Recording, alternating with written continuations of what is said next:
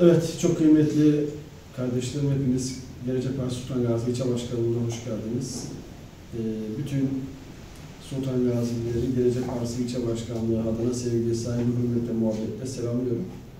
Ee, bugün start verdik. Belediye meclis üyesi aday adaylarımızı e, taleplerini alıyoruz, alımlı belgelerini veriyoruz. Ee, kısaca şunu söylemekte fayda var. Gelecek Partisi Sultan Gazi güçlü bir şekilde yerel seçimleri hazırlanıyor. 31 Mart seçimlerindeki tek hedefimiz Sultan Gazi Belediyesi'ni Sultan Gazilerin yönetmesine katkı sağlamak. Onun için 4,5 yıldır Sultan Gazi'de siyaset yapıyoruz. Gelecek Partisi'ni kurduğumuz günden beri. Ee, o günden bu zamana kadar da Abdülhamit Ali Talip kardeşimiz bizlerle beraber siyaset yapıyor. Ee, belediye meclis üyeliğine aday adaylığı başvurusu vardı.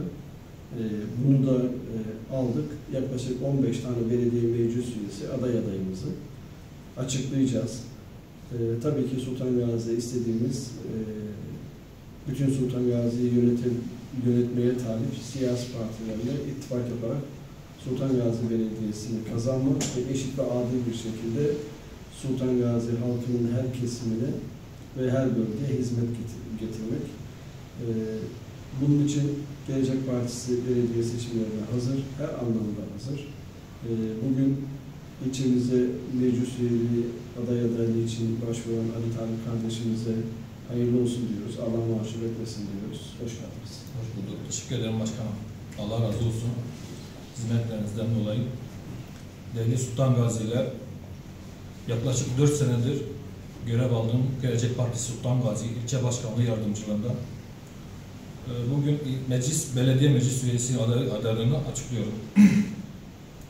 Allah'ın izniyle dostlarımızın desteğiyle inşallah Sultan Gazi'nin hak ettiği yerlere gelmesi için elimizden gelen çabayı, hizmeti sunacağız.